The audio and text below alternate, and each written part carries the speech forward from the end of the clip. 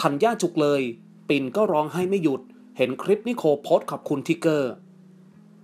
หัวอกแม่ๆครับทั้งจุกทั้งร้องไห้ไม่หยุด เรียกว่าเป็นการเซอร์ไพรส์สุดประทับใจจากหนุ่มหนึ่งเดียวในดวงใจที่เป็นรักแท้ของสาวนิโคล เทริโอ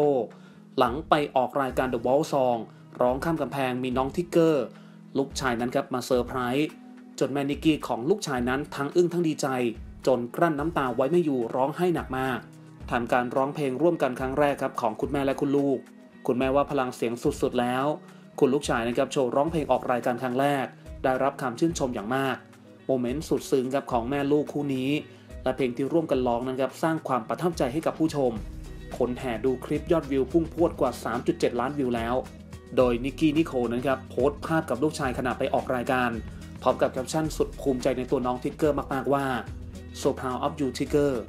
at the wall song hashtag the wall song ร้องข้ามกำแพง ก่อนที่จะโพสต์คลิปนาทีเซอร์ไพรส์เห็นหน้าลูกชายกลางรายการจนกั้นน้ำตาไว้ไม่อยู่ ถึงกับล่ำให้ออกมาหนักมาก พร้อมทั้งขอบคุณลูกชายด้วยว่า never enough so proud of you the best moment ever thank you Tigger hashtag the wall song ร้องข้ามกำแพง hashtag แม่ร้องไห้เลย โดยคนบันเทิงและแฟนคลับนะครับเข้ามาคอมเมนต์สุดซึ้ง กับโมเมนต์ดังกล่าวจำนวนมาก อาทิสาวธัญญ่าธัญญาเรศนะครับก็เข้ามาคอมเมนต์ด้วยว่า จุกเลยค่ะซึ้งมาก ซึ่งนิโคลเองนะครับก็ได้เข้าไปตอบกลับคอมเมนต์ด้วยว่าแอดธัญญาลียา thank you ค่ะธัญญ่าสาวนิกกี้นะครับยังได้โพสต์คลิปอีกคลิป พร้อมกับขอบคุณทุกคอมเมนต์ด้วยว่า ขอบคุณนะคะสำหรับทุกคอมเมนต์ค่ะ thank you so much for all the love and support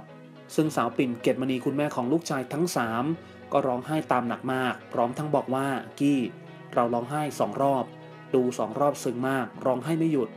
โดยนิโคนะครับเข้ามาตอบกลับคอมเมนต์หัวอกคนเป็นแม่ด้วยกันว่า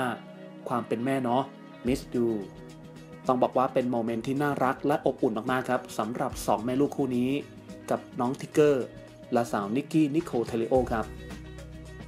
อีกหนึ่งช่องทางข่าวบันเทิงนะครับ ที่คุณจะสามารถติดตาม และอัปเดตข่าวสารไปพร้อม ๆ กันได้เลยครับ อย่าลืมกดติดตามชมซูเปอร์สตาร์ดาราแล้วก็อย่าลืมเข้ามาติชมหรือคอมเมนต์มาร่วมแชร์ร่วมแสดงความคิดเห็นกันได้เลยครับ ที่สำคัญนะครับต้องขอกราบขอบพระคุณทุกท่านมากๆด้วยครับ ที่เสียสละเวลาในการติดตามรับชมรับฟังกันด้วยครับ